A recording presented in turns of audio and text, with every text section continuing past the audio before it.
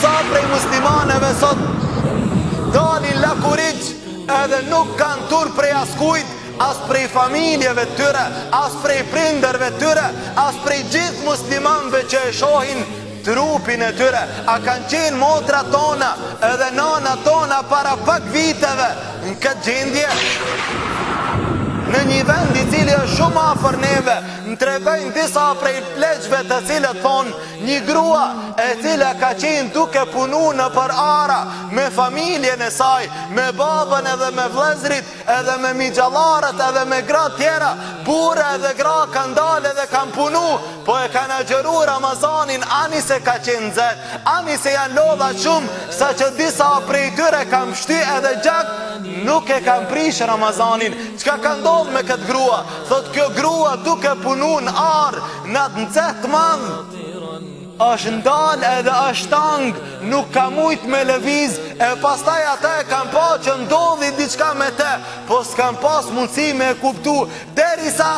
Deri sa kjo gru ka ra për tokë E pastaj kanë vrapu familja e saj Edhe kur e kanë marrë atë në krahun e tyre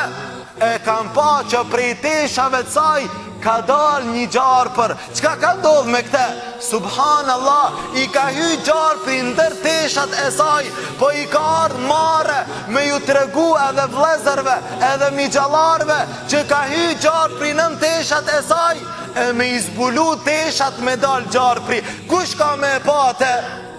kanë me e pa familjarët prej marres madhe që e ka pas Ka duru deri sa ka ra për tokë nuk ka pas mundësi me i zbulu teshat prej zorit madh që me dal gjarpri ndërsa sot sa prej femrave prej motrave tona prej nanave tona bashkëshorte tonat që edhe burrat kanë përgjegjësi të madhe ai burrë i cili prej shtëpisë tij del femra lakuriq ai ka përgjegjësi të madhe para Allahut subhanehu ve teala i cili nuk e ka rujt nderin e familjes tij, e pastaj ato motra të cilat nuk ki mundësi me i dallu, a janë muslimane, apo nuk janë muslimane, hynë me ble dikun diçka,